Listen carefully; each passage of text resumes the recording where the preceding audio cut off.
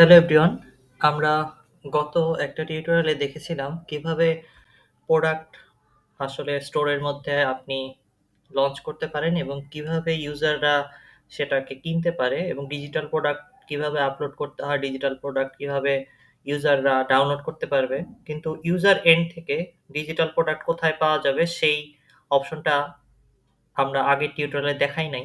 So, এটা এখন দেখাই দিচ্ছি। আরেকটা ব্যাপার হলো অর্ডার আসলে সেটা আপনারা এইখান থেকে পাবেন।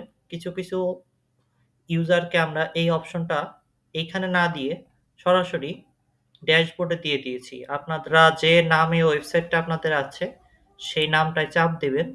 অ্যাডমিন প্যানেলে প্রথমে লগ ইন করবেন। আপনার ওয়েবসাইটের নাম দেবেন প্রথমে, তারপর ডাব্লিউপি অ্যাডমিন বটনে চাপ দেবেন। এরপর এইখানে আপনার ওয়েবসাইটের নাম লেখা থাকবে অথবা লোগো থাকবে, ওইখানে চাপ দেবেন।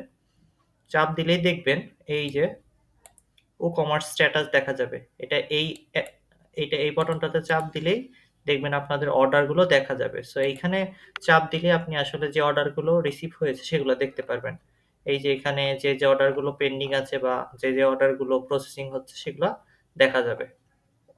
সো হোল্ডে আছে কোনগুলো কমপ্লিট হয়েছে কোনগুলো, এগুলো আমরা সবই এখান থেকে দেখতে পারব। যেমন এই যে একটু আগেই আমরা যে টিউটোরিয়ালটা দেখেছিলাম আগের টিউটোরিয়ালে আমরা এই অর্ডারটাকে কমপ্লিট করেছিলাম। সো এই কাজগুলো আসলে আপনার এইখানে খুঁজতে হবে না, আপনারা সরাসরি এইখানে আপনার ওয়েবসাইটের নামে চাপ দিলেই ড্যাশবোর্ডের আন্ডারে ও কমার্স স্ট্যাটাসে পেয়ে যাবেন। সো এখানে খোঁজার দরকার পড়বে না, এটা বিশেষভাবে বলার জন্য এই টিউটোরিয়ালটা বানানো।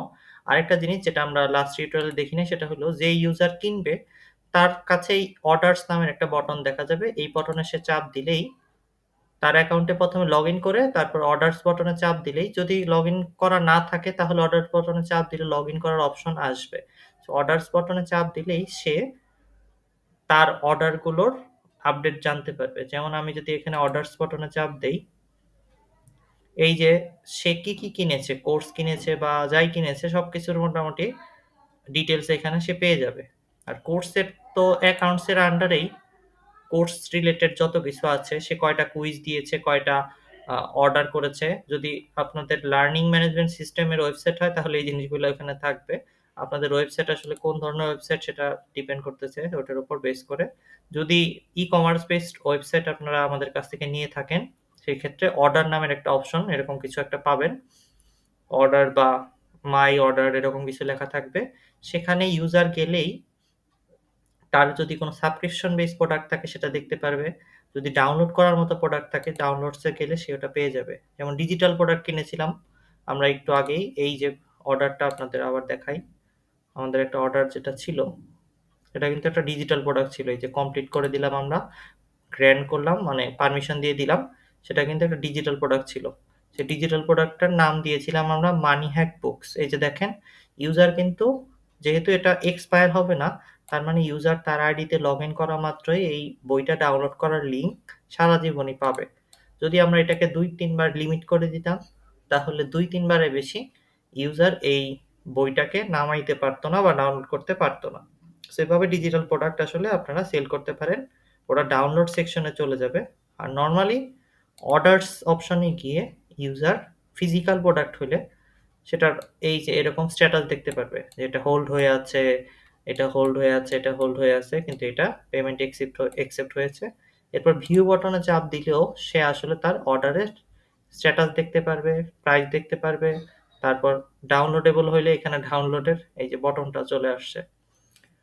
সো দ্যাট ইজ ইট আপনাদের যদি আরও কোনো অ্যাডভান্স সেলিং সিস্টেম লাগে, অর্থাৎ অনেকেই চায় যে তার দামি বই বা দামি কোনো সলিউশন এভাবে ডাউনলোড করতে দেবে না, তো হইতে পারে আপনারা এমন কোনো সাবস্ক্রিপশন বেসড মডেলে যেতে চাচ্ছেন যে এই ইউজার শুধু ওই ওয়েবসাইটের একটা পার্টিকুলার পার্ট থেকে বইটা পড়তে পারবে, কিন্তু ডাউনলোড করতে পারবে না।